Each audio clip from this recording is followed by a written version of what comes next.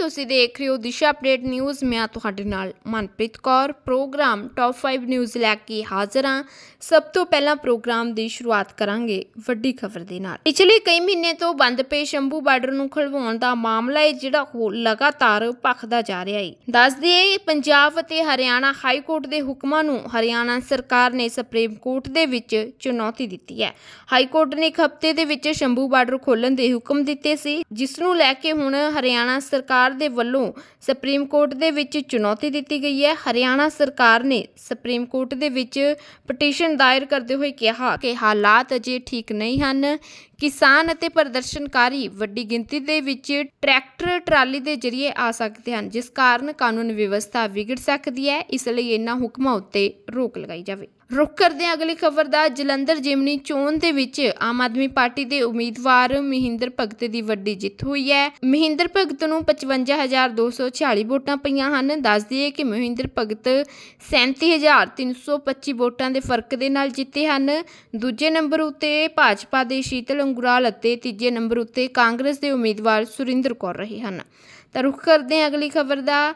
ਜਲੰਧਰ ਪੱਛਮੀ ਵਿਧਾਨ ਸਭਾ ਸੀਟ ਆਪ ਨੇ ਜਿੱਤ ਲਈ ਹੈ। ਆਪ ਉਮੀਦਵਾਰ ਮਹਿੰਦਰ ਭਗਤ 37325 ਵੋਟਾਂ ਦੇ ਨਾਲ ਜੇਤੂ ਰਹੇ ਹਨ।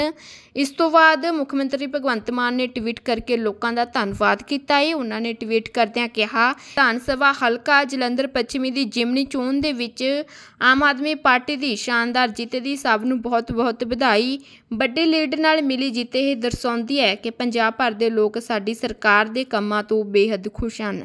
ਜਿਮਨੀ ਚੋਣ ਦੌਰਾਨ ਕੀਤੇ ਵਾਅਦੇ ਦੇ ਅਨੁਸਾਰ ਜਲੰਧਰ ਵੈਸਟ ਨੂੰ ਅਸੀਂ ਬੈਸਟ ਬਣਾਵਾਂਗੇ। ਮਹਿੰਦਰ ਭਗਤ ਨੂੰ ਬਹੁਤ-ਬਹੁਤ ਮੁਬਾਰਕਾਂ। ਰੁਕ ਕਰਦੇ ਹਾਂ ਅਗਲੀ ਖਬਰ ਦਾ। ਕੇਂਦਰੀ ਰੇਲ ਅਤੇ ਫੂਡ ਪ੍ਰੋਸੈਸਿੰਗ ਰਾਜ ਮੰਤਰੀ ਨੇ ਅੱਜ ਪੰਜਾਬ ਭਰ ਵਿੱਚ ਜਲੰਧਰ ਪੱਛਮੀ ਜਿਮਨੀ ਚੋਣ ਵਿੱਚ ਭਾਜਪਾ ਦੀ ਕਾਰਜੁਗਾਰੀ ਉਤੇ ਤਸੱਲੀ ਪ੍ਰਗਟ ਕਰਦਿਆਂ ਕਿਹਾ ਕਿ ਭਾਜਪਾ ਨੇ ਕਾਂਗਰਸ ਦੇ ਨਾਲੋਂ ਬਿਹਤਰ ਪ੍ਰਦਰਸ਼ਨ ਕੀਤਾ ਹੈ। ਬਿੱਟੂ ਨੇ ਕਿਹਾ ਕਿ ਭਾਜਪਾ ਦੂਜੇ ਸਥਾਨ ਉੱਤੇ ਹੈ ਅਤੇ ਕਾਂਗਰਸ ਤੀਜੇ ਸਥਾਨ ਉੱਤੇ ਹੈ, ਜੋ ਕਿ ਪੀਪੀਸੀਸੀ ਲਈ ਸ਼ਰਮਨਾਕ ਹੈ। ਉਹ ਜਲੰਧਰ ਸੰਸਦੀ ਸੀਟ ਜਿੱਤਣ ਤੋਂ ਬਾਅਦ ਸਿਰਫ 2 ਹਫ਼ਤਿਆਂ ਦੇ ਵਿੱਚ ਜਨਤਾ ਦਾ ਵਿਸ਼ਵਾਸ ਹੈ, ਜਿਹੜਾ ਉਹ ਗੁਆ ਬੈਠਾ ਹੈ ਉਹਨਾਂ ਨੇ ਕਿਹਾ ਕਿ ਚੋਣ ਪ੍ਰਚਾਰ ਦੌਰਾਨ ਸੱਤਾਧਾਰੀ ਆਪ ਵੱਲੋਂ ਭਾਜਪਾ ਉਮੀਦਵਾਰ ਸ਼ੀਤਲ ਅੰਗੁਰਾਲ ਨੂੰ ਧਮਕਾਇਆ ਗਿਆ ਸੀ ਅਤੇ ਭਾਜਪਾ ਦੇ ਵੋਟਰਾਂ ਨੂੰ ਵੀ ਧਮਕੀਆਂ ਦਿੱਤੀਆਂ ਗਈਆਂ ਸਨ। ਉਹਨਾਂ ਨੇ ਕਿਹਾ ਕਿ ਭਾਜਪਾ ਦਿਨ ਬ ਦਿਨ ਮਜ਼ਬੂਤ ਹੋਵੇਗੀ ਤੇ 2027 ਦੀਆਂ ਵਿਧਾਨ ਸਭਾ ਚੋਣਾਂ ਦੇ ਵਿੱਚ ਸਿਆਸੀ ਸਮੀਕਰਨਾਂ ਨੂੰ ਬਦਲ ਦੇਵੇਗੀ।